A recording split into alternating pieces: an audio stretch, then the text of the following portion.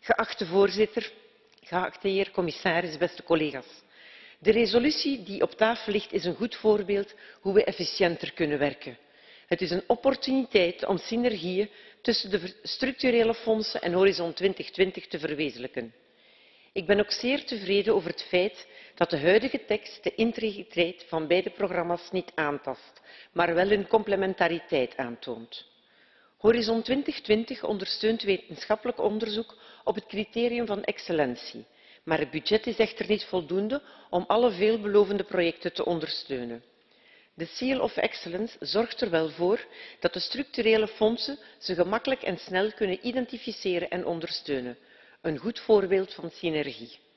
Voor mij persoonlijk is het erg belangrijk dat vooral KMO's hier gebruik van maken.